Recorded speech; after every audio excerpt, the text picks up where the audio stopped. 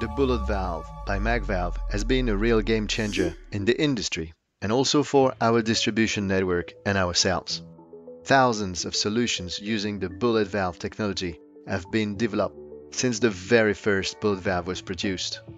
It all started with a customer request for a certain flow, quick response times, but in a very compact package, as the overall length of the valve could not exceed the diameter of a US quarter coin.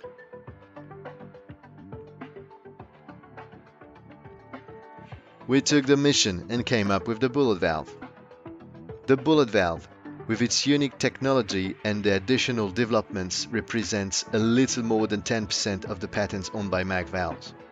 With such outstanding performance, the highly technological content and its very flexible design, the bullet valve is a sales hit and sales are progressing every year. From two and three-way air valves, we made it compatible for liquid applications. We designed a four-way air valve later. We developed proportional solutions around this unique design and also a pump compatible with both neutral gases and liquids. As far as size is concerned, the initial diameters of the first bullet valves were 9, 10 and 14 millimeters. In order to meet customers' needs and application requirements, we developed bullet valves with diameters of 7, 12, 16, 17, 21, 24 and 28 millimeters. We can combine different materials for a solution meeting your application requirements.